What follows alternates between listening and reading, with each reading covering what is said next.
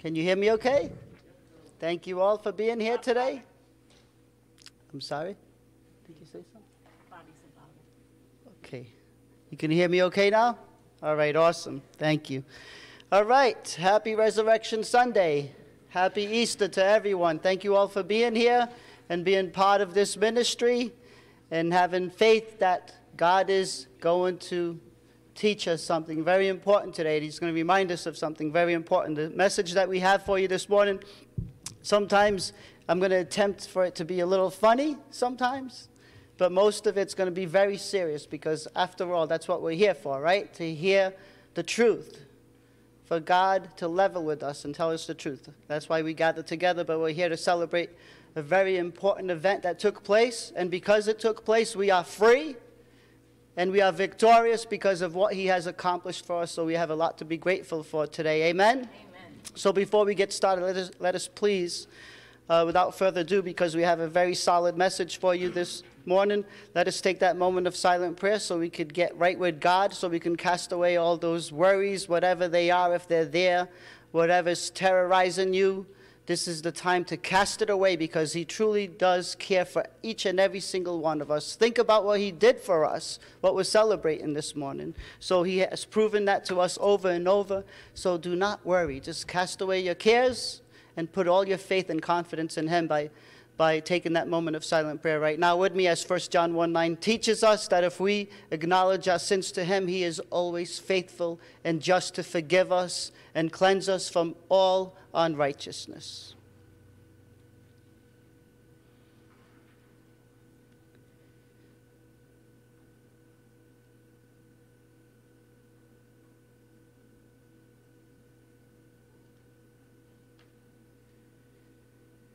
Father, we just want to thank you once again for another opportunity to gather together as your children and to hear what the Spirit is going to say to us, your church, Father, your children. So we are grateful for that opportunity.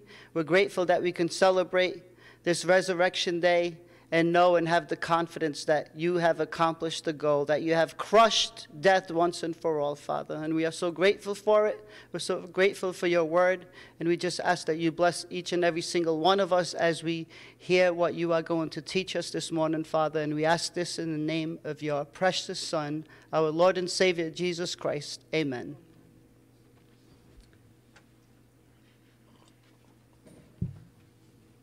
All right, so before let's just get right to it, okay? All right. I'm going to start off by having a serious message with you. And it's going to start off by um, telling you about how, to the onlooker, the observer, the, someone, the person that doesn't necessarily take the Word of God very serious, many of these so called holidays that we celebrate seem like an empty ritual. However, for the true believer, to the person that takes the word of God so serious, serious it ha- and who has been well informed, these holidays seem more significant than life itself. So I want to give you an illustration this morning.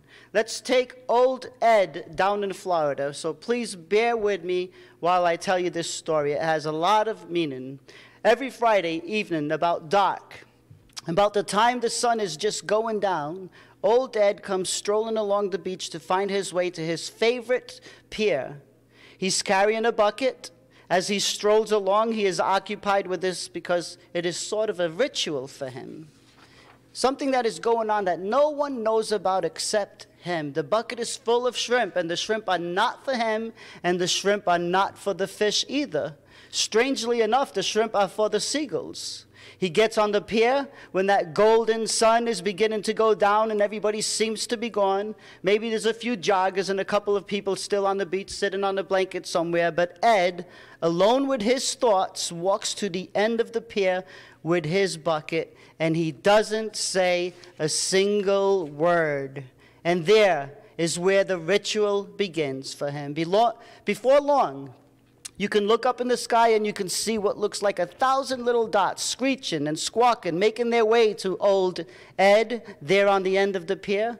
They envelop him with their presence and their fluttering wings. They sound like a roar of thunder. So Ed stands there and sort of mumbles at them as he's feeding them shrimp. He reaches in his bucket and throws a few up to them. You can almost hear him say, Thank you, thank you. So in a few minutes, the bucket is finally empty, and Ed stands there almost as if raptured in his thoughts of another time at another place. Invariably, he puts that one last piece of the shrimp above his head, and there's a seagull that lands on his old weather beaten hat, and it looks that hat looks like an old military hat that he's been wearing for years. And then he turns around and he begins to walk on his way back toward the beach. A few of the birds hop along the pier with him until he gets to the stairs of his home, and then they finally fly away. And without a word being spoken, just as quietly, quietly as he came, he makes his way down to the end of the beach and back home. Now, if you were to see him do this, you would probably say that this guy, Ed, is a very weird individual. So please, remember this story. It's very, very deep. It was told once before behind this pulpit, and it's got a very deep meaning to it. I promise you. And uh, you may not think so right now, but you'll see. It's, a ve- it's very deep because it's so much more than what you are probably thinking.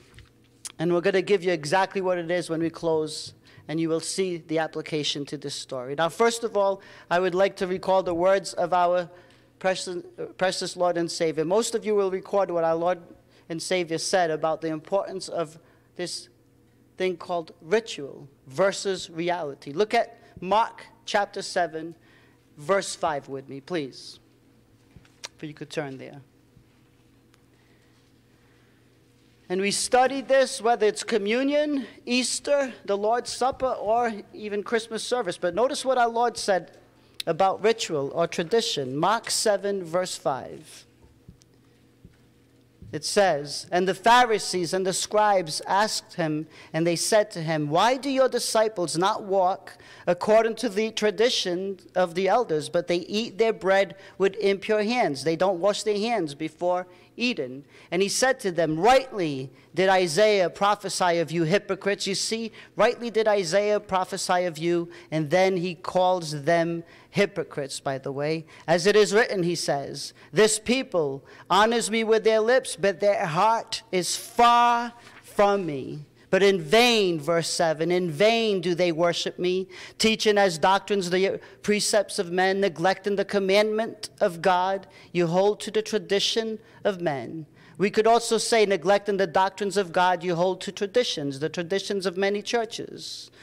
He, he was also saying to them, You nicely set aside the doctrines of God in order to keep your tradition.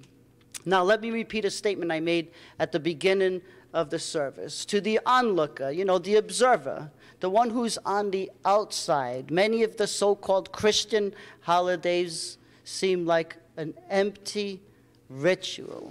However, remember to the person who is informed, well informed, they seem so much more significant than anything in this life itself. More significant than life itself. Why? Because as we are going to see this morning, in just a moment, this thing called information. That's why. So go forward to 1 Corinthians chapter 15.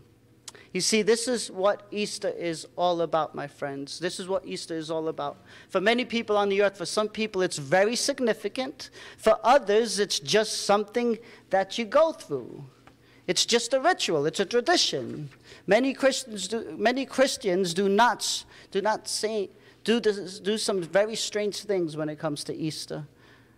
And I'm sure many of you can agree with that. They do some very strange things, but I want, I want to ask you a question this morning, all of you. And that is, what does Easter, what does Resurrection Sunday really mean to you? What does it mean to you? Well, I want, I want to give you just a little hint of where we're going to be going with this. And maybe you'll be able to answer that question this morning. If I ask you, royal family to describe Easter without using any words whatsoever, but only using punctuation, punctuation marks. What would you use this morning? Which punctuation mark would you choose to describe your response to today, this day, Resurrection Day, this very day that we are celebrating? Would you use a comma? Something that I maybe I need to think about about it for a little while? Or would you use a period? It means absolutely nothing to me. A question mark, maybe? I have a lot of questions about it. Or an exclamation point. I am very excited about this day and what this precious day represents. A comma, a period, a question mark, or an exclamation point. Now, a lot of you, I'm sure, have never really been challenged to answer this question personally and seriously. So I'll give you a few minutes to really think about it this morning because maybe you just need a little bit more time to think about what Easter really means to you, you personally. Maybe you just need to stop and, and think and just contemplate for a moment before you answer this very important question. In other words, let's start with a comma. Sort of like a comma in a sentence. What is Easter? And before you even answer this question, put a comma behind that or a comma after that and think about what does it really mean to me? You see, commas brothers and sisters, are very important because of what they are designed to do. They are designed to cause you and I to think about what has been said and then get ready for something that is coming. It's important. And if you don't think that they're important, if you leave them out of a sentence or two every once in a while, it will cause a lot of confusion. We came across a few illustrations uh, recently that I want to share with you. And the first one I'd like to share with you is concerning a little note that a woman gave to her pastor.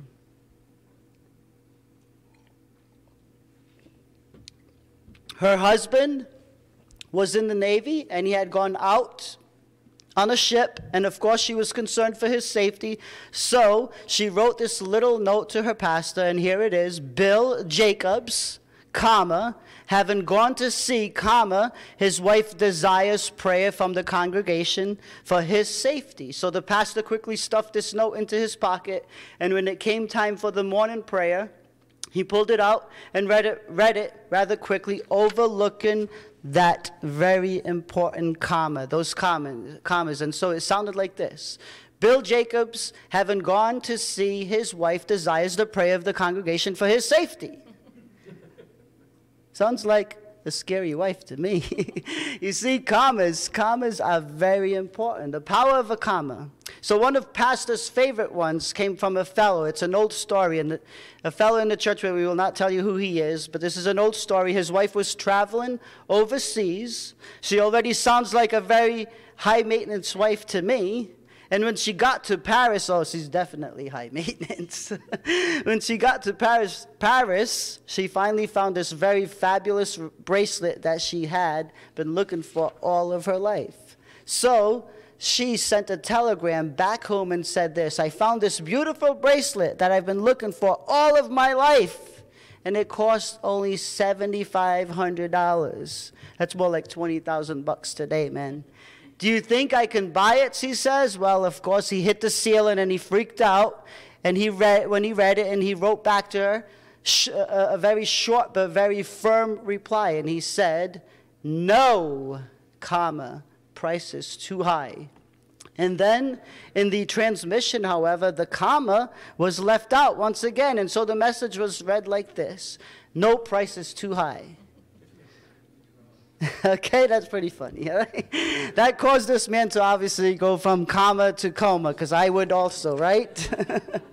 but anyway, there are commas in life. And for many people, Easter, this precious day, Resurrection Sunday, is just one of those commas. It's a time that makes some people stop and pause and think but that's about it. It goes no further than that. However, it is really a reminder, a very important reminder. If you take your calling seriously, that is, and your life serious, uh, Easter is really a reminder that if it's not reality in your life, the Bible, the only form of literature, by the way, that has been proven to be true over and over and some of you may recall what we studied in the past about the prophecy of the 173,880 days that the Messiah would come in that first Palm Sunday.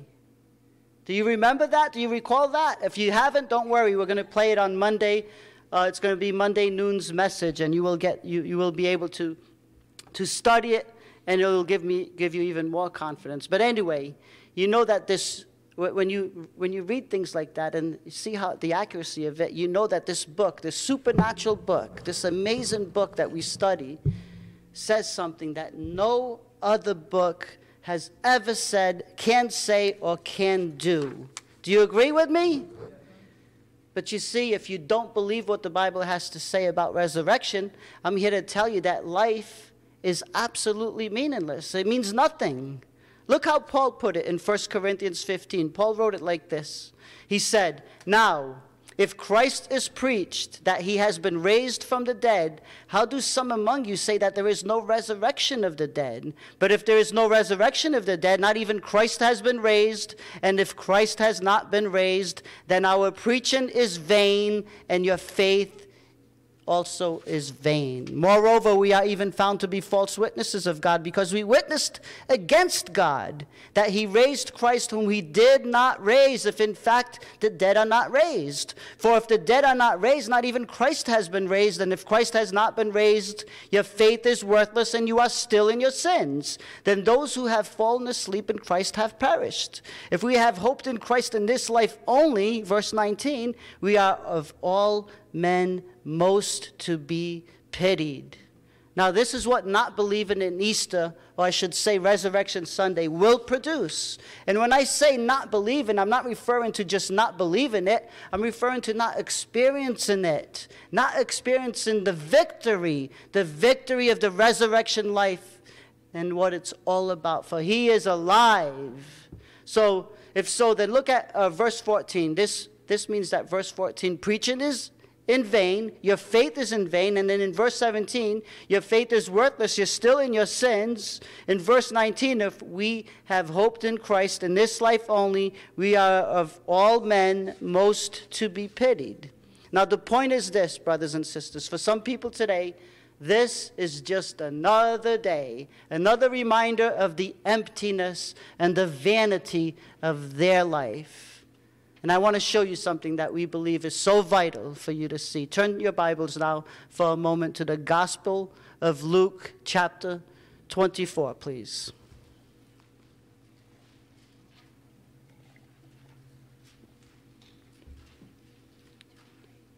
You see, for so many people today, this morning, for so many people, this is just another day, another day of emptiness, another day of vanity, maybe a little break, maybe a little holiday because of the so called Friday, uh, Good Friday celebration. And remember, if that's what this is to you today, then your life, I hate to say it, your life is meaningless.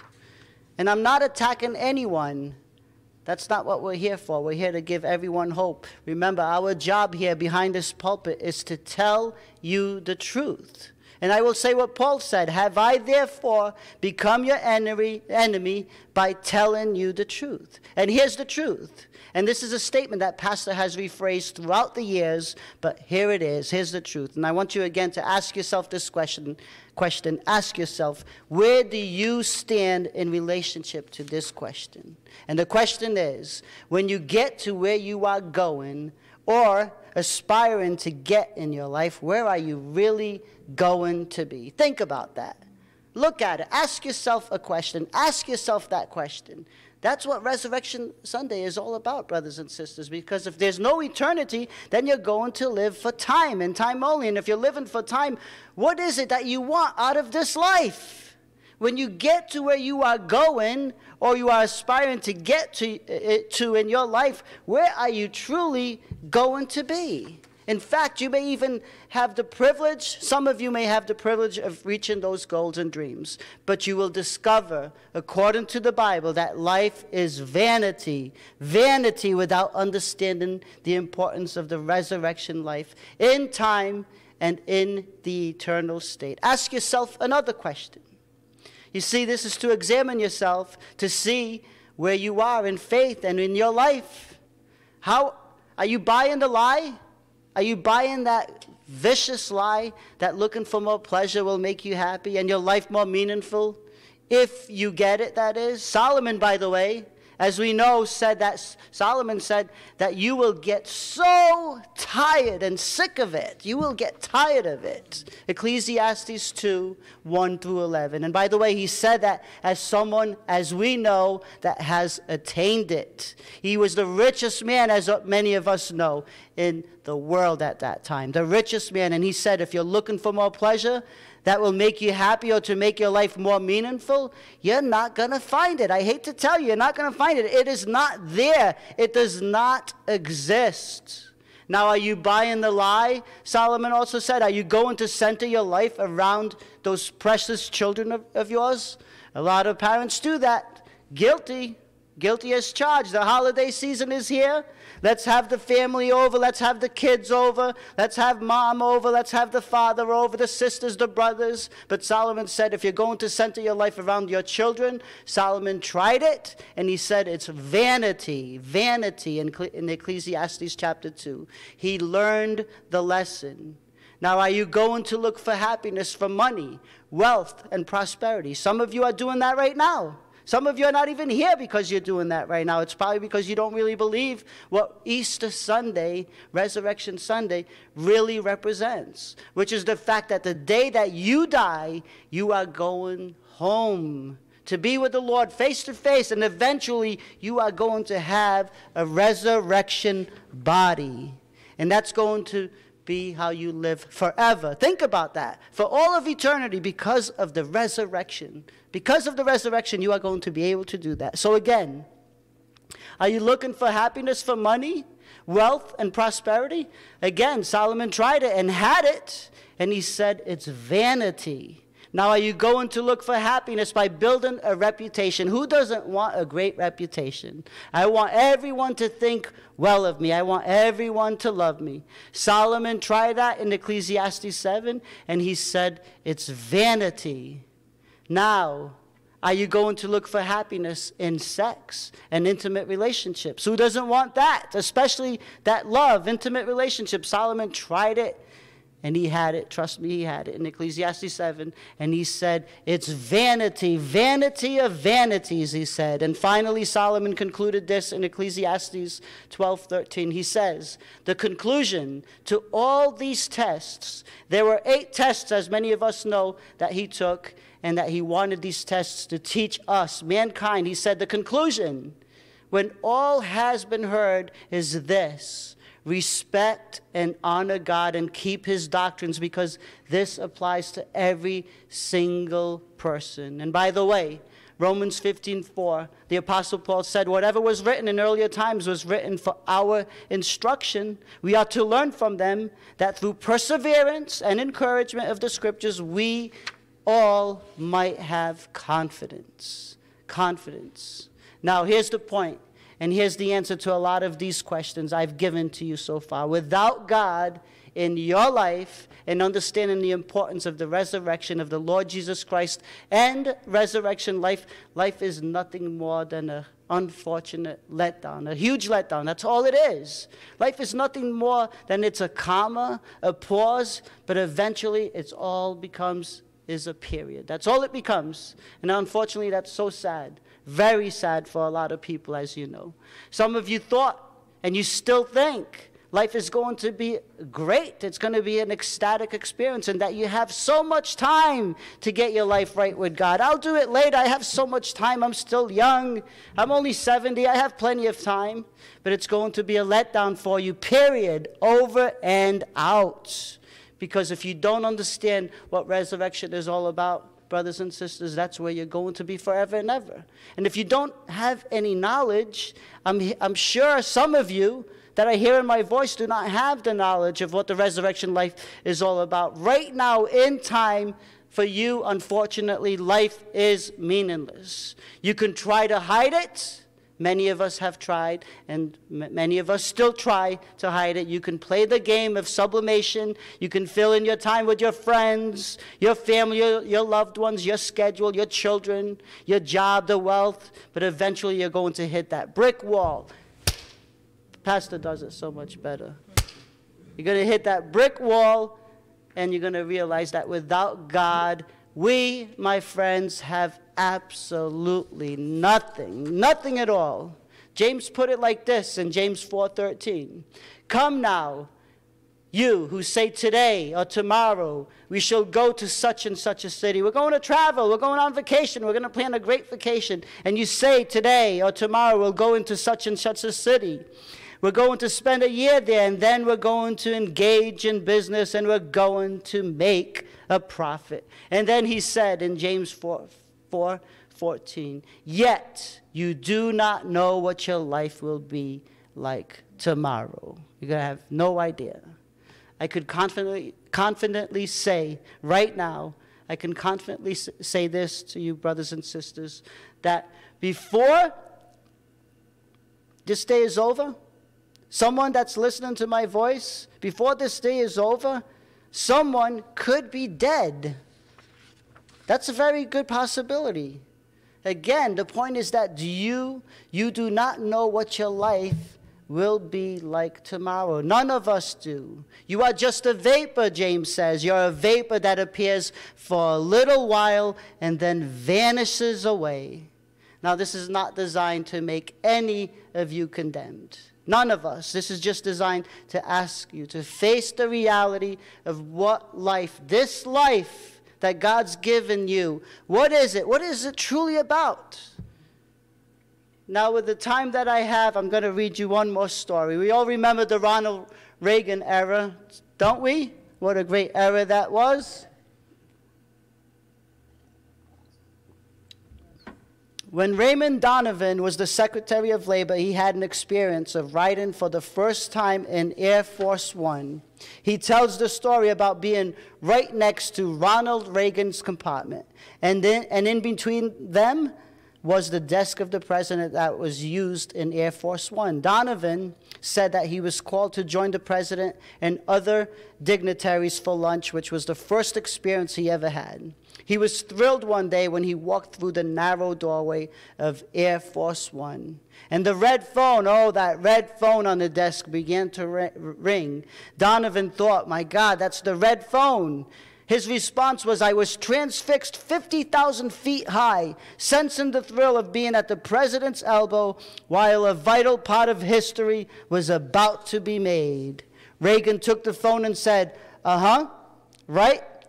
What are my options? Donovan said, I stood there breathless. What are my options? This is some strategic and important moment in American history, and I am going to be part of it. I can't believe it. And then he listened as President Reagan said, Right? All right, I guess I'll have to take the iced tea. He said, he said the rest of the trip was a downer. He said, I looked forward to this marvelous trip across the skies where I thought history was going to be made, and all the guy was doing was ordering iced tea. and you see, Easter, Resurrection Sunday, for many people, so many people, some even listening to my voice right now, I guarantee you is nothing more than iced tea. That's all it is. But for those of us who believe and are well informed, we know that He is alive and we are free, period, over and out. So I'm going to ask Sam to come on up. Thank you, Royal Family. She's going to finish that story for us eventually. But you did so great. I think I can take next Sunday off. We can do the whole message. No, we actually really enjoy doing this together. Um, today is the absolute most greatest love story rescue mission. And that's what we're really celebrating today. Um, that vast exclamation point for some Easter Resurrection Sunday is just a period for others. In fact, it just simply drops off at the end of the sentence. It's nothing more than an empty ritual. We'll close this service with this morning noting a ritual that's very meaningful to us, the Lord's Supper. But for some people, this is just a ritual. It doesn't mean anything to them because they've always been taught to do that. But they don't know the significance behind it and the spiritual application. Now, it may surprise you, by the way, if you're here this morning, it may surprise you that you are in good company. If you feel like at times these holidays just seem like a downer, you who consider yourself an onlooker today, I'm happy to say that there are many in this room, many of us in this room right now, who at one time were onlookers just like you.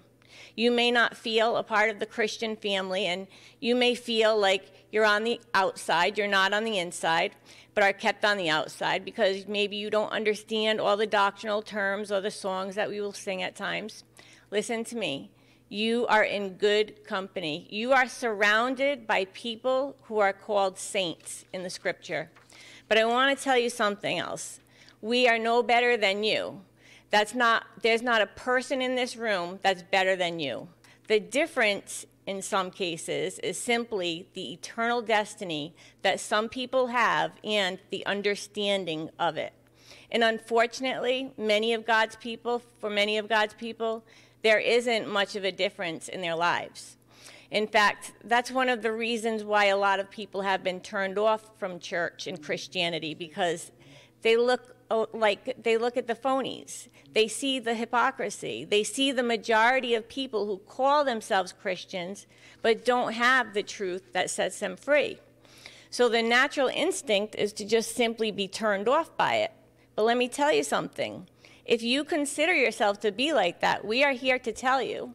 If you begin to understand what this Word of God is all about, what this book right here is all about, the Bible, and understand about resurrection life, you're going to find out that there's a lot of meaning behind it that can give your life meaning, purpose, and definition. And we want to tell you something else. Do you realize that the first Easter was simply something that was terrible for the disciples? It was terrible for them. They felt like they had the, the wind knocked out of them. We're in good company because the disciples in those days of Jesus were just as despondent and depressed as many people are today. They did not expect for the Lord to be raised from the dead. They didn't expect the resurrection. The first Easter was a time when they were depressed. And remember when Mary said that he had risen from the dead, and the disciples said, You're crazy? That's not true. Well, these disciples are going to get a fresh wind, and we hope this message gives you a fresh wind as well. Have you ever felt like you got the wind knocked out of you? I'm sure that's how the disciples felt for three days. Like they got the, the wind knocked right out of them. And you know, sin will knock the wind out of you, but something else that will keep the wind knocked out of you is unforgiveness. And this is why Christ went to the cross so that we can be forgiven and live forever with him, forever in a resurrection in resurrection life, in a resurrection body. And we want to talk to you about this because we all need a fresh wind. We really do. We as individuals need a fresh wind, and we as the pivot need a fresh wind. But if you want a fresh wind, you have to look at the wind of your life. You have to examine yourself. You got to get this thing out of your life. You got to stop jumping on the ships that you know are going to lead you astray. But two, you have to forgive the people who did things to you that were totally unfair and totally unjust. You have to forgive them. And sometimes it's hard, sometimes it's so painful, but it's actually required to live the spiritual life. It's actually something that our Lord ensures that we have to forgive people so that we can love people. We have to forgive people so that we can move on. I want to read you all something I think is really, really amazing. It's actually the science behind the crucifixion. It says, Normally, to breathe in, the diaphragm, the large muscle that separates the chest cavity from the ab- abdominal cavity, must move down. This enlarges the chest cavity and ear automatically into the lungs. To exhale, the diaphragm raises up, which compresses the ear. Again, this is the science behind the crucifixion. Then it says, as Jesus hangs on the cross, the weight of his body pulled down on the diaphragm, and the ear moved into his lungs, and it just remained there, the weight. Do you understand that the weight that Jesus was carrying was the weight of our sin? So, who knocked the wind out of Jesus in this moment? We did, our sin. Some of you might have had the wind knocked out of you. Maybe someone you loved and trusted hurt you. It's weighty, it hurts, it feels hard to breathe. But in this moment, it remained there, and Jesus must, must push up on the nails in his feet, causing him more pain in order to exhale. In order to speak, ear must pass through the vocal cords in exhalation. The gospel notes that Jesus spoke seven times on the cross. So, seven times Jesus had to inhale. Excuse me. Jesus had to inhale and push up on his nails, just so his diaphragm would be able to get air in to say the words that he was going to say. And you know, we know there's the seven sayings, but one of those sayings that Jesus said, he said, Father, forgive them, for they know not what they do.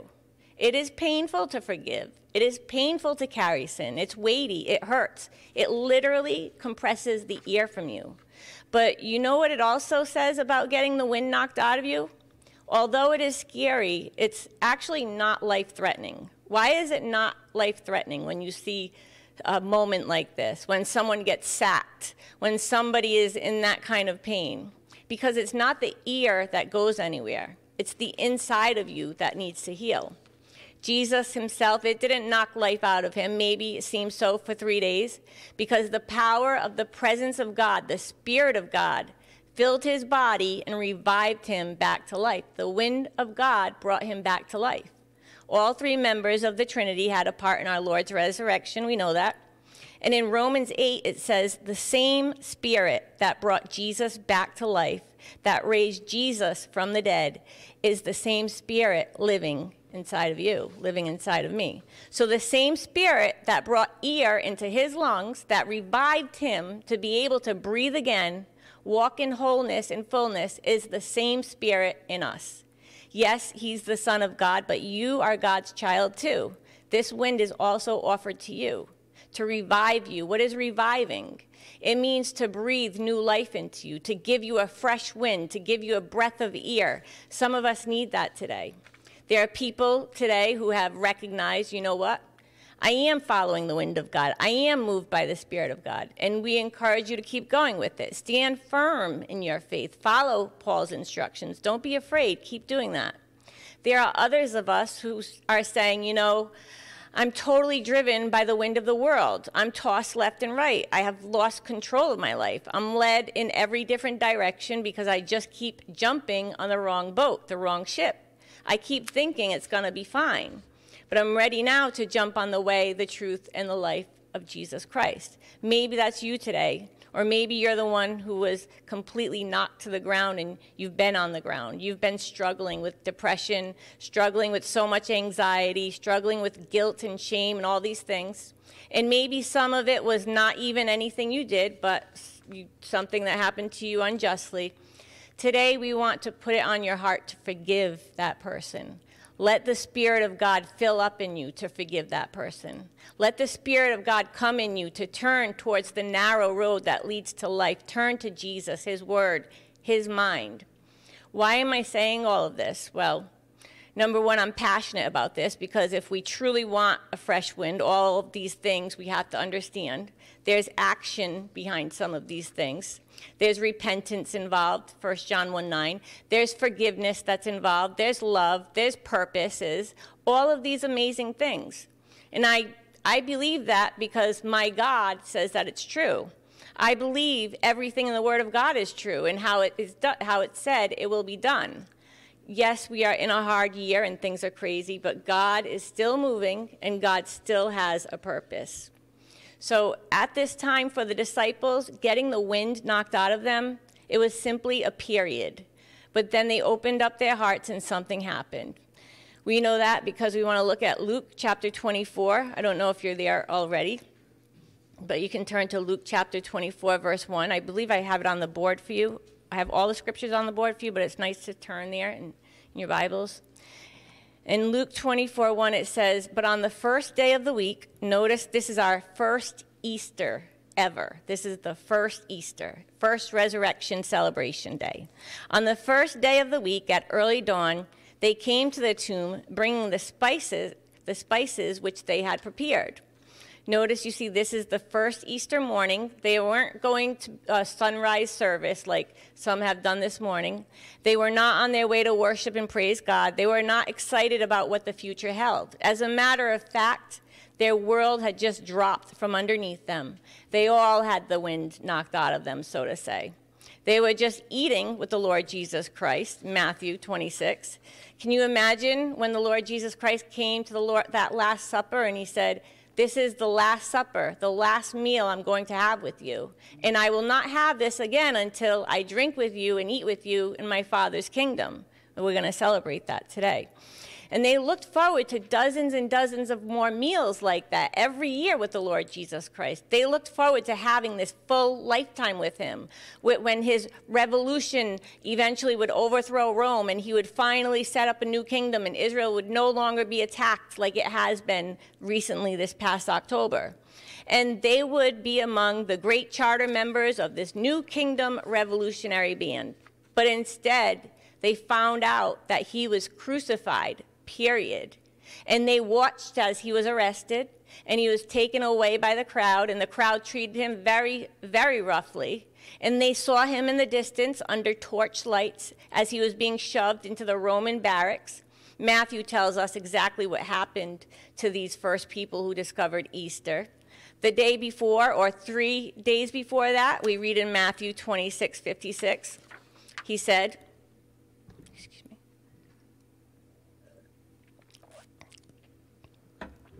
He said, But all this has taken place so that the scriptures of the prophets might be fulfilled, or may be fulfilled. What then? Then all the disciples left him and fled. All the disciples, the first disciples, those individuals that we think have halos around over their head. They have churches named after them St. Matthew, St. Mark, St. Jude, St. Thomas. We don't find too many St. Judases, by the way, but there was a Judas besides Iscariot, but I don't think any church wants to call themselves the Church of Judas. But anyway, the fact of the matter is they all left him. They all fled. Nobody stood around. Nobody stood up for him, period. They nailed him to the cross. We've studied that. If that wasn't bad enough, they scourged him, but then they drove spikes into his hands and they put one foot over another and drove spikes into that. And as he hung on the cross, he looked like he was just about inhuman. He was lifeless. He was dead, period. And then he had two friends, two friends of the disciples named Joseph and Nic- Nic- Nicodemus. Joseph of Arimathea and Nicodemus were Pharisees. They were very, very wealthy. They came to Jesus to embalm the body. And they wrapped his body like you would wrap a mummy and they tied around him something similar to a kerchief around his head, which we'll see something really cool later on this service about. They tied it under his chin so that as the years passed and his flesh would be actually deteriorating, when the bones would come out, you would not see the skeleton bones really coming out as you would if you were just lying there nude. You see, I say all of this because they knew he was dead. And on top of that, it's also interesting to see that there was a stone. I'll leave my water right there. There was a stone that was rolled down into a hill. It actually put him inside of that tomb so that he could now have captivity, a captivity where he could not get out because people lived in fear that they were going to steal his body. The stone was placed over the grave in those days to keep the dogs out from feeding on the remains of the human body and to keep people from stealing expensive things that they often gave when they buried the dead. But this stone was increasingly important. The stone was very important to those who hated the to those who hated Jesus because what this did is they not only put the stone there, but they also put a Roman seal on it. And anyone who ever tried to remove a stone with a Roman seal as the signet ring was placed upon the stone in soft clay, they would be killed or murdered for doing so. And on top of that, they had the temple policemen who were chosen to march around it constantly, 24 hours a day. They were chosen to be there around the tomb. Now, can you imagine what was the big deal? They didn't do that to other tombs. They didn't want the body to be removed. They wanted to make sure that what Jesus said would never ever transpire because they knew that there was something supernatural about this man. When he said he could open up the eyes of the blind, he did. When he said he could raise the dead, he did. When he said he could open up the ears of the deaf, he did. So they were very, very concerned as to whether or not he would fulfill his word. Hold your place in Luke, and we're going to go to John chapter 2, right around the corner. We're going to go from John to Luke and John to Luke, back and forth. So if you want to put your bookmark in there. Some of our Lord's enemies believed more about what he said than his disciples actually did. Look at John chapter 2, verse 19. Jesus said, Destroy this temple, and in three days I will raise it up. The Jews therefore said, It took 46 years to build this temple, and you, will you raise it up in three days? But he was speaking of the temple of his body. When therefore he was raised from the dead, his disciples remembered that he had said this. And then they believed the scripture and the word which Jesus had spoken. They knew what he had said. Uh, go forward to chapter 10 of the Gospel of John, and we're going to look at verse 17. Don't worry, we're going to get back to Ed in Florida. Ed is a really cool dude, as you'll see. John 10, verse 17. For this reason, for this reason, the Father loves me. Notice what, what he says. For this reason, the Father loves me, because I lay down my life that I may take it again. No one has it, no one has, has the ability to take it from me, but I lay it down on my own initiative. He says, I have authority to lay it down, and he did. Then I have authority to raise it back up again, and he did. Jesus Christ had a part in his own resurrection. This commandment I received from my Father. He said that not only he would be crucified, but that he would be raised from the dead. And so, in their minds, it would be just like those disciples to try to get his body, kidnap his body, and fake a resurrection. So the Romans said, that's what they thought, we better seal the tomb. All right, let's go back to Luke 24. We're going to keep going, Luke to John, John to Luke, because we want to see this. Again, this is, by the way, the behind the scenes, familiar scenes to these people who are making their way to the first Easter morning before dawn, where Luke said it was the first day of the week in Luke 24 1. At early dawn, they came to the tomb, bringing spices which they had prepared. We don't do that today. Today, we bring love notes or words of sympathy, or we send flowers to those who are grieving. In those days, because of the stench of the human remains, to cover that, they would put heavily spiced and expensive spices and place them around the tomb so that it would be a place of beauty rather than a place of horror and death. And notice verse 2 as they worked their way up this narrow trail. Here's the first people that went to the, the, the first Easter service. They were like some of us. They were not expecting a change in their life. They were not expecting for someone to be risen from the dead. They were not expecting that a miracle had taken place. They were not expecting that they were going to have their lives totally changed by finally believing what our Lord said about resurrection life. And so, as they worked their way up to that narrow trail that led them to the sealed tomb, notice what Dr. Luke says. And they found the stone. Now, this is great. They found the stone rolled away from the tomb. Now, wait a minute. Something very interesting here that we want you to see. The Greek does not actually say they found the stone rolled away from the tomb. The Greek says they found the stone apokoleo. It means it was rolled up a hill from the tomb. It was rolled up. And this stone weighed tons. It was rolled up from the tomb, a multi toned stone rolled up. And by the way, you see, critics have said for years that the body of the Lord Jesus Christ was taken. Now, think about this with me. Just think naturally. Use your natural mind, use your common sense. Critics have said for years that the body of the Lord Jesus Christ was taken and that he was kidnapped. So stop and think about that for a moment. His body's gone. Let's say his enemies took him. But wait a minute. Why would the enemies want to take his body? The last thing that they wanted was the fact that the body would be missing. They wanted the body so that they could do the same thing that Muslims can do. They can see the corpse of Muhammad, who once lived, or the Buddhists do. They can see the corpse of Buddha. It's very interesting that we cannot find the body of Jesus, the dead one. No matter how hard we try, it's not there because you can't find something among the dead that is among the living and we have the only one that claims to have been risen from the dead. And so the last thing that his enemies wanted to happen was for the body to be taken. They wanted the body to remain there. That's why they sealed the tomb. So, as an onlooker, maybe you would say, well, maybe his enemies didn't do it, but maybe his friends took him. Well, how could they? Think about it. There were guards there, according to the word of God. The tomb was sealed. The stone weighed tons, and this was the one thing that they didn't want to happen. And by the way, if the guards allowed someone to take the body of Jesus, they would have had their heads cut off because once the Roman guard failed in protecting someone, like we learn in Acts 16 30, 31, or in taking care of their prisoners, if they failed, they would be put to death. They did not want that to happen.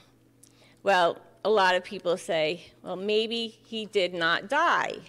Maybe he had just collapsed and then he slipped out somewhere from the tomb, inside the tomb. He pushed that stone right up the hill, that multi ton stone, and he just left, and it just so happened that everyone was asleep.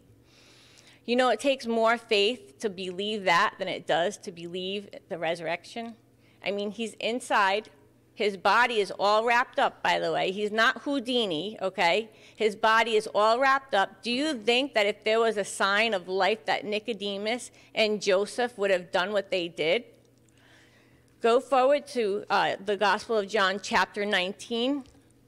We're going to look at verse 38.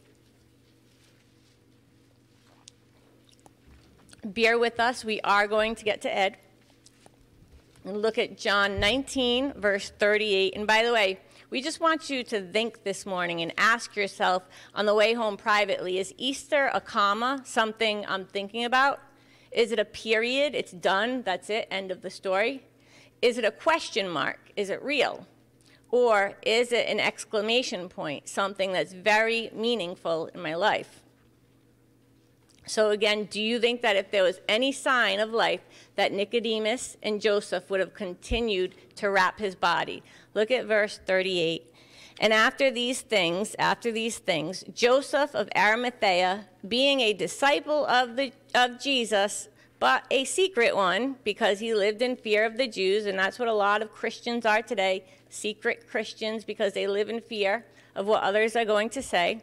But it says again, after these things, Joseph of Arimathea, being a disciple of Jesus, but a secret one for fear of the Jews, asked Pilate that he might take away the body of Jesus. And Pilate granted permission. He came, therefore, and took away his body. And Nicodemus came also, who had first come to him by night, bringing a mixture of myrrh and aloes, about uh, a uh, hundred pounds weight. I have this on the board for excuse me. About a hundred pounds weight and so they took the body of Jesus and bound it in linen wrappings with the spices, as is the burial custom of the Jews. Now, in that place where he was crucified, there was a garden, and in the garden, a new tomb which no one had been yet laid. Therefore, on account of the Jewish day of preparation, because of the Passover, because the tomb was nearby, they laid Jesus there because the Passover was coming. So again, do you think that if there was any sign of life that Nicodemus and Joseph would have continued to wrap his body and put him into the grave? Not on your life. He was dead, and dead men don't walk, and dead men don't push stones from inside the tomb up a hill. All right, let's go back to Luke 24, and we're going to look at verse 2.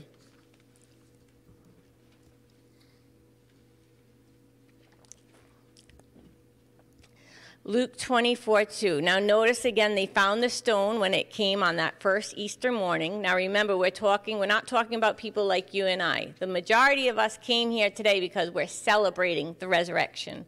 The majority of us are here today because we're excited about the fact that he's risen from the dead, and so will we be. The disciples were not. So, when they found the stone,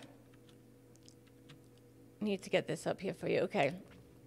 I missed a few slides there. So when they found the stone, verse 2, when they found the stone rolled away from the tomb, but when they entered, they did not find the body of the Lord Jesus. Now, Now the period has turned into a massive question mark. Before he's dead, he's dead, he's in the grave, he's died. We're, we're not going to eat with him anymore. He's in the grave and he's dead. There's no life for us now. They got the wind knocked out of them.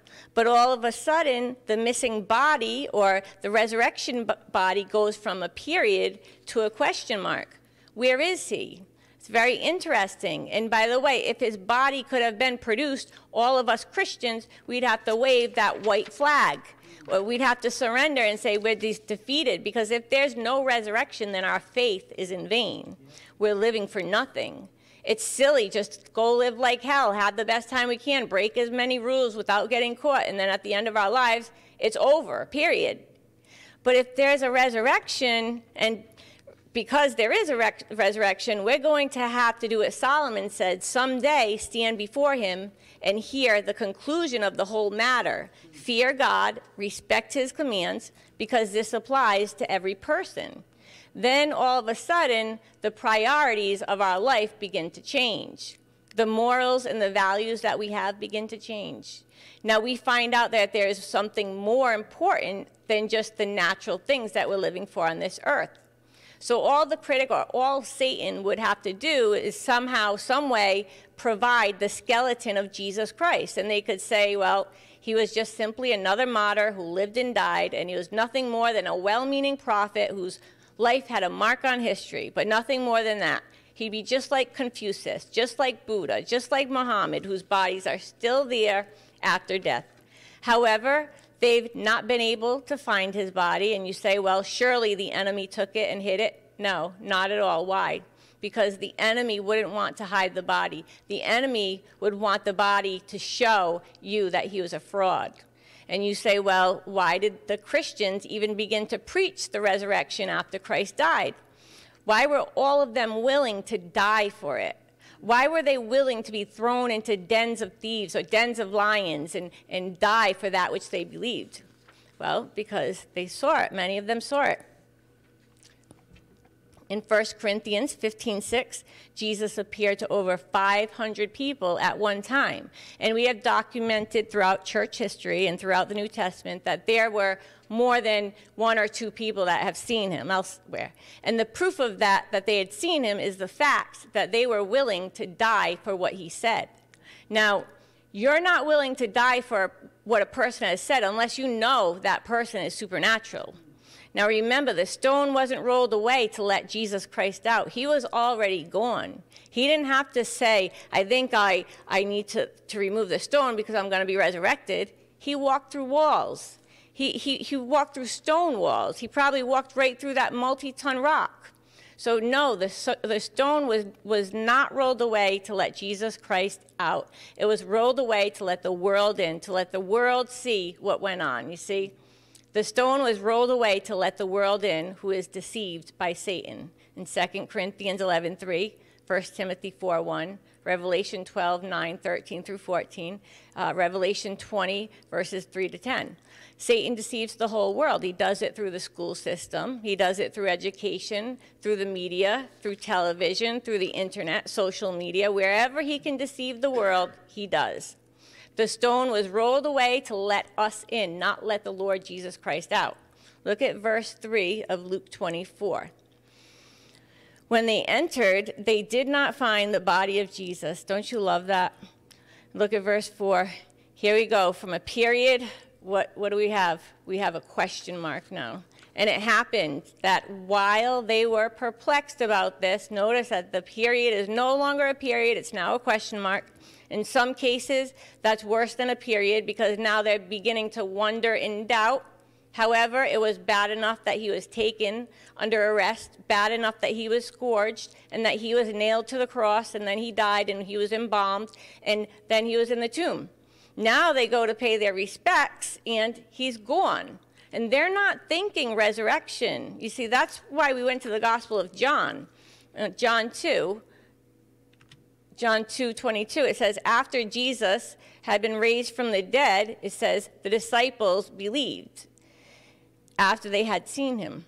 Like Thomas said, Thomas said, I'm not going to believe unless I see. Sorry, guys, my slides are all messed up. And, uh, and for doubting Thomas to believe and then have doubting Thomas willing to lose his life and be martyred means that the doubter did not have any more questions. He saw the resurrected Christ. And so they, right now, they came to pay their respects, but he's gone.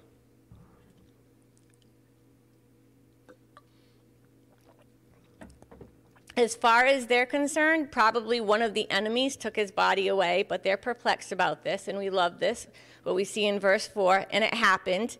Now remember, this is Easter morning, it's dawn, it's not sunny out yet. You'll see why in a moment. It happened that while they were perplexed, it happened that while they were perplexed about this, behold, two men, and these are actually angels, two men suddenly stood near them in dazzling apparel, dazzling clothes. Verse 5 And as it the women were terrified and bowed their faces to the ground. The men said to them, the angels said to them, Why do you seek the living among the dead? By the way, you know why it says, As the women were terrified and bowed their flat flat faces to the ground because the men didn't go back there to see him. They were afraid. Now, the men were having a difficult time. The men were all hiding somewhere, wondering what they're going to do next because, after all, they've given up their profession for three years and they follow this guy who claims to be the Messiah and now he's dead. But the woman went there. They just kept saying, I know he's dead and I, I love him and I just want to go there and I want to show my more respect and more honor. And that's what it says in verse 5. As the women were terrified and bowed their faces to the ground, the angels, not the men, the angels said to them, Why do you seek the living among the dead?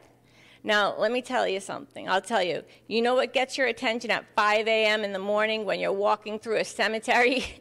Dazzling angels. And by the way, where were the guards? Well, they were concerned about what happened. So they had a little council meeting and they met with the Supreme Court of the Jews and they worked out what we would call a deal. I'm going to paraphrase what Matthew says. I'll go through it quickly.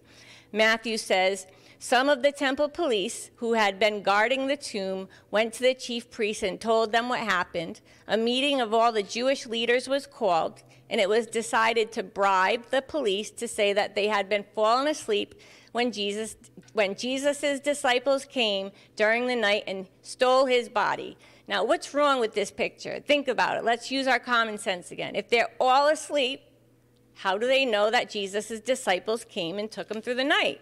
I thought you were sleeping. The disciples came and they stole the body. How do you know the disciples were doing that if they were sleeping? See, it doesn't make sense. It's all foolish. That's why it's not a question mark for us. It's not a comma. It's not a period, it is an ex exclamation point. He has risen, and so will we. Now, if you have that attitude that resurrection life doesn't begin when you die, it can begin right now in time. On Easter morning, it can begin right now. Easter, Resurrection Sunday, is an exclamation point for you. Let's look at verse 4. And it happened, notice verse 4 it happened that while they were perplexed about this, behold, two men suddenly stood near them. They were angels in dazzling apparel. As the women were terrified and bowed their faces to the ground, and the men said, Why do you seek the living among the dead? He's not here. Verse 6 He has risen. Remember how he spoke to you, Bible doctrine, by the way, while he was still in Galilee, saying that the Son of Man must be delivered into the hands of sinful men and be crucified, and on the third day rise again. Look at verse 8, Luke 24. And they remembered his words. Those are the 12 minus Judas. Now, they were Mary Magdalene, here's the ladies, and Joanna and Mary, the mother of James. Also, the other women were with them, and they were telling these things to the apostles, and these words appeared to them as nonsense. Are you listening this morning? Bear with us. That's the first Easter for the so called holy people. And I mean, we don't see churches called St. Mary Magdalene, probably a lot of guys would go there, but other than that, we don't see churches called that. We don't see churches honoring women. Here it is, notice verse 11. And probably this is true for some of you who are listening or what you're hearing. These words appear to them, not you who are here, but some maybe out there. These words appear to them as nonsense, and they would not believe. The period's gone, the commas are away, the question marks are removed, and as for us believers, here is one massive ex- exclamation point. We got it and we believe it. They announced it to his disciples, and then even the disciples didn't believe it at first. But later on, they did. The periods were gone, the commas went away, the question marks were removed, and they had that one massive exclamation point, which says, in effect, we believe it and we got it which is another way of saying when things like this happen um, and you're listening to something like this and you really believe it and all of a sudden it clicks and you say, you know what? What they're saying makes sense. Not who they are, but what they're saying makes sense. It's not who I am that matters, it's the message that matters. You don't focus in on the messenger. You might have said it a little bit better. I say as best as I know how, but it's always the message. That's what happens. And to the onlooker, all of this meaning as uh, to the excuse me and to the onlooker all of this means nothing to a lot of people. But to us christians who understand these principles we remember christ died. We re- remember he's alive. We gather on easter sunday when easter comes up. We're together because there's just something about easter with the resurrection holiday. That's why uh, we're going to hear ed in a moment but that's why we like to say to some of you, oh, by the way, happy birthday, Merry Christmas, happy Thanksgiving, have a good 4th of July. You know, we'll see you next Easter. but to us, life is very meaningful when you understand resurrection. All right, you guys ready? I got my phone right there.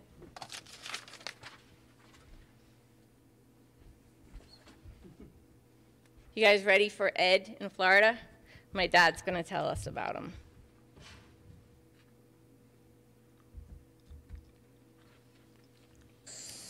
Who are you ready for? I forgot the other story. I forgot that part. His full name is Eddie Rickenbacker. He's a captain. He was a captain in World War II. He flew a B-17 Flying Fortress. He was sent on a mission to take a message to Gen- uh, General Douglas MacArthur and to be involved in other strategies. He had seven other men chosen on that crew that flew across the waters of the uh, Pacific to locate General MacArthur. Somehow in the navigation of that flight, they got things crosswired and the plane crashed in the water. Miraculously, they all made their way out of the plane. No one was injured to the point of death. They climbed into this little raft, and as they floated on the seas, they fought the sun, they fought sharks. But most of all, they fought hunger as all eight of these men ate very little, they drank very little, little. Finally, by the eighth day, their rations ran out, no food, no water. They had reached the end. They were, uh, they were all, uh, uh, by the way, believers, and they knew that they needed a miracle, so no one knew where they were. They were hundred, uh, hundreds of miles from land. Rickenbacker says that they had an afternoon devotional, and in that service, they prayed for a miracle and they and they uh, they tried they tried to rest, but they could not. He remembers leaning back and pulling his military cap over his nose and trying to doze while the other crew members were asleep. He remembers feeling something land on his cap. It was a seagull. He thought, if I could capture this sucker, we'd have supper. He got it. He tore the feathers off it and he shared a little uh, morsel of it together with the others. And then they used the, intestine, the intestines for fish bait. And they began to fish, and they caught uh, their food, which gave them not only food, but more bait. And they were able to survive until they were found and rescued almost at the end of their lives. Old Ed never forgot. He never stopped saying thank you. So that once a week, every Friday evening, late at night, he would come to that old pier with a filled bucket of shrimp and a heart full of gratitude, saying, Thank you, thank you. It was almost as though the seagulls understood, uh, though 40 or 50 years had passed and old Eddie would die later on, it seemed like they understood when he said thank you. That's exactly what we do when we come at Easter. We come and what we're saying is thank you. Now, Ed looked very, very weird to us at the beginning of the service. But you see, when you're informed and you know the information, that which may seem weird to others may be very, very meaningful to you. We have people that gather together here every night Tuesday, Wednesday, Thursday, Friday, and Sunday. And they come here all the time. You know how they look to others? Very, very weird. You go to church five times a week? Are you nuts? Well, well, if you come here, you know it's not, not like church. It's like teaching. It's like a college. It's learning about life. When you really love God, a lot of these things that seem to be meaningless why would someone get up early in the morning to go to a, uh, a, a service in the sunrise service? Why do Christians make such a big deal out of this Easter, this Resurrection Sunday, Palm Sunday, Christmas? Why do they make such a big deal out of it? Because it's their way of saying thank you to a God who has saved them from eternal de- uh, damnation. It's our way to say thank you. And so to the uninformed, it's not meaningful. But to those that have the information, life becomes more and more meaningful as they continue to grow in God's grace and knowledge. Let's bow our heads. All right, we are going to bow our heads and close in prayer, please. Uh, if you are here this morning and you've never believed in the Lord Jesus Christ as your Lord and Savior, I'm here to tell you that God loves you with a very precious love, that He sent His uniquely born Son to die for your sins. For the Bible says, Believe on the Lord Jesus Christ and you shall be saved. You have the opportunity right now to begin resurrected life by becoming a believer. Believe on the Lord Jesus Christ and you shall be saved. You can tell God right now, forming the sentences in thought only, that you are willing to believe upon his Son, Jesus Christ, for eternal life. What a great day to do it.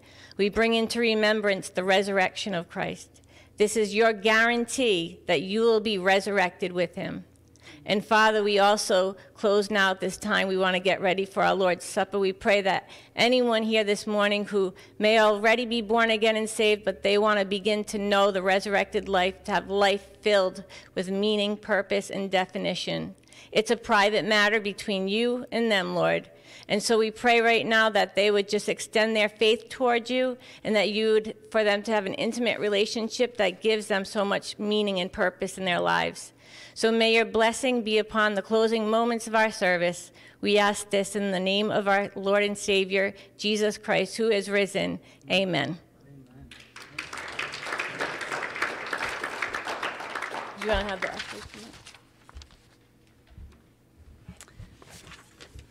Thank you, Samantha. All right, if we could have the ushers come forward, please. We're going to close our Easter service by bringing into remembrance the Lord's Supper now. Thank you so much.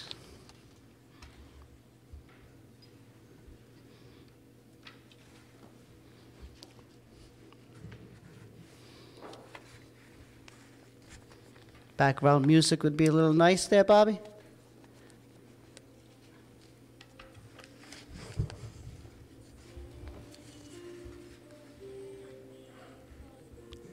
Deacon Bobby.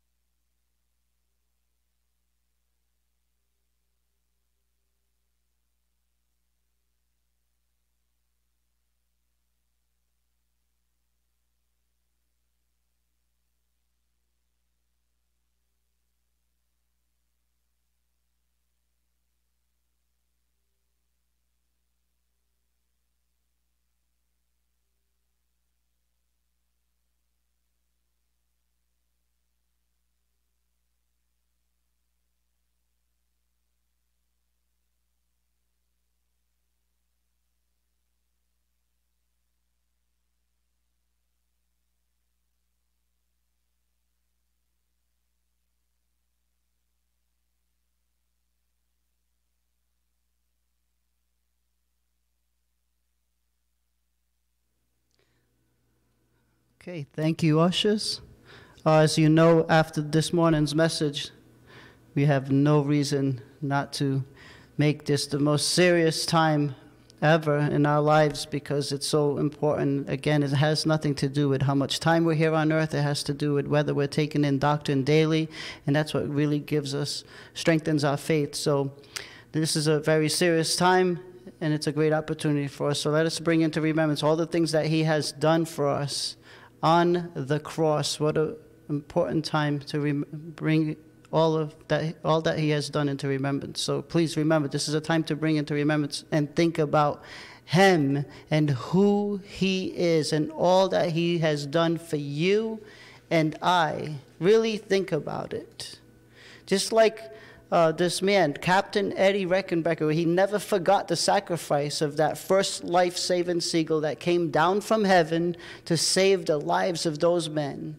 So we too, we have the bread that came down from heaven, the Lord Jesus Christ. The Lord provided that seagull so that their lives would be saved on this earth, this earth. God provided the Lord Jesus Christ, that, the, that lamb that was slain so that our lives would be saved forever, not just on this earth, but forever, and that we would have eternal life. That's what we have to look forward to. And so, if Eddie Rickenbacker can go every Friday night and do what he does to show his gratitude and not care that he made, makes a fool of himself, what we do as we have this communion service, it doesn't look weird at all because we are all gathered together as the body of Christ here throughout, not just physically, but throughout, just in spirit. We're gathered together and, and we remember in the same way the unbelievable sacrifice and the unbelievable gift, amazing gift that came down from heaven. And so, if we could just turn to Matthew 26, beginning with verse 26, which I will read.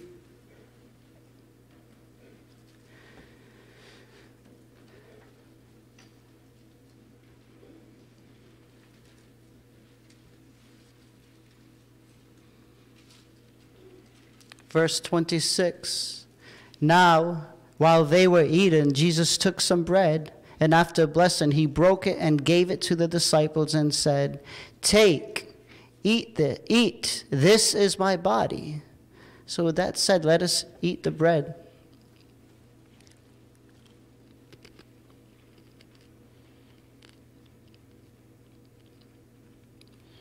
And when he had taken a cup and given thanks, he gave it to them, saying, Drink from it, all of you, for this is my blood, the blood of the covenant, which is being poured out for many for the forgiveness of sins. But I say to you, verse 29, I will not drink of this fruit of the vine from now on until that day when I drink it with you new in my Father's kingdom. Let us drink the cup.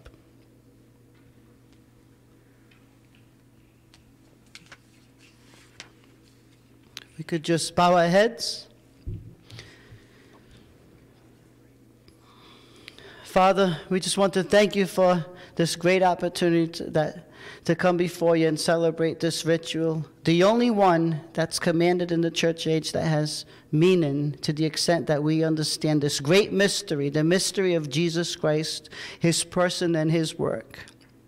And we also ask you, Father, now to give us the courage and the strength to never forget this message that we had today about the risen Lord, and that we may apply it and not only apply it to our lives, but share this vital information with other people in our lives who truly need it, Father.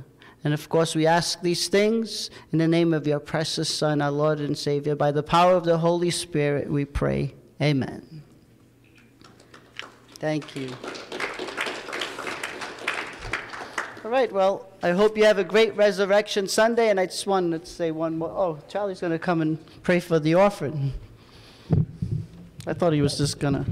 I thought he was just going to write me a big check and say, say, we don't have anything to do. No, I, I just wanted to say that um, my wife and I, as you know, many of you who are still here, thank you for being here and, and and for the new people, thank you for having faith in this ministry.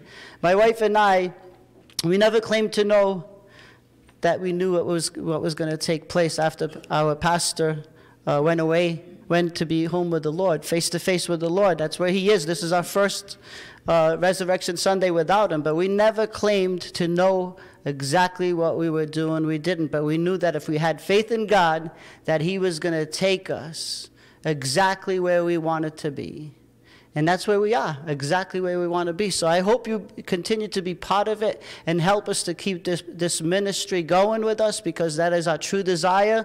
Again, it doesn't mean we know exactly what we're doing, but we do know this. We know that we have to have faith in Him and trust in Him, and He will show us the way, just like He has shown every single disciple in that book the way. He's going to show us all the way. And I hope you are all part of it, or at least be, know that we desire the same thing that you do. So thank you for that. I'm going to ask Charlie to come on up and pray for the offering before we let you go. Good morning. So I'm going to pray for the offering, but before I do, I just wanted to read something to the congregation. This is something I found online this week, and it was really interesting. It was, um, why did Jesus fold the napkin at his burial? Why did Jesus fold the linen burial cloth at, after his resurrection. I've never noticed this before. The Gospel of John 20, verse 7 tells us that the napkin was placed over the face of Jesus, was not just thrown aside like grave clothes. The Bible takes an entire verse to tell us that the napkin was folded neatly and was placed separate from the grave clothes. Early Sunday morning, while it was still dark, Mary Magdalene came to the tomb and found that the stone had been rolled away from the entrance. She ran and found Simon Peter and the other disciple whom Jesus loved. She said, They have taken the Lord's body out of the tomb, and I don't know where they have put him. Peter and the other disciple ran to the tomb to see. The other disciple outran Peter and got there first. He stooped, he stooped in and looked and saw the linen cloth lying there, but he didn't go in. Simon Peter arrived and went inside. He also noticed the linen wrappings lying there. And while the cloth that had covered Jesus' face was folded up and lying to the side. Was that important? Absolutely. This is very significant. In order to understand the significance of the folded napkin, you have to understand a little bit about the Hebrew tradition of that day. The folded napkin had to do with the master and the servant. And every Jewish boy knew this tradition. When the servant set the dinner table for the master, he made sure it was exactly the way the master wanted it. The table was furnished per perfectly, and then the servant would wait just outside, outside, out of sight of the master until the master had finished eating, and the servant would not dare touch the table until the master was finished. Now, if the master were done eating, he would rise from the table, wipe his fingers, his mouth, and clean his beard, and he would wad up the napkin and toss it onto the table. The servant then would go, he, he then would know to clear the table. For in those days, the wadded napkin meant, I'm done. But if the master got up from the table and folded his napkin and laid it beside his plate, the servant would not dare touch the table because a folded napkin meant, I'm coming back. So he's coming back. So let's just uh, bow for the offering. Father, we ask that you bless this offering. We ask that you bless the remainder of this day. Bless every, each and every one here today. We ask that we, we thank you for your Son and our Lord and Savior and all that he's done for us, all that work that he's done for us on the cross. We appreciate you. We appreciate him, the Holy Spirit. In his name we pray. Amen.